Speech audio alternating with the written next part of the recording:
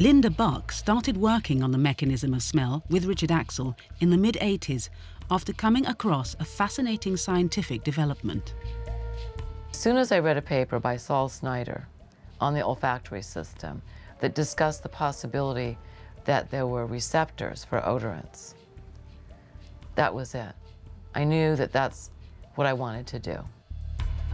The first challenge faced by Axel and Buck was to find the receptors in the nose which are crucial to smell.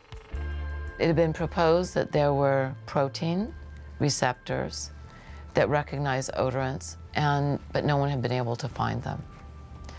So that was the initial work that I did in Richard Axel's lab, searching for those receptors.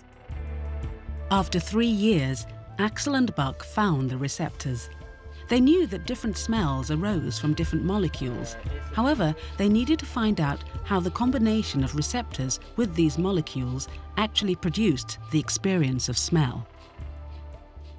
And a mystery was how it is that these different structures are perceived as having different odors. These two molecules have almost identical structures, and yet they have different smells. One smells like pear, and the other one like banana. Genetic experiments then led to a surprising discovery. There were literally thousands of receptors involved in smell.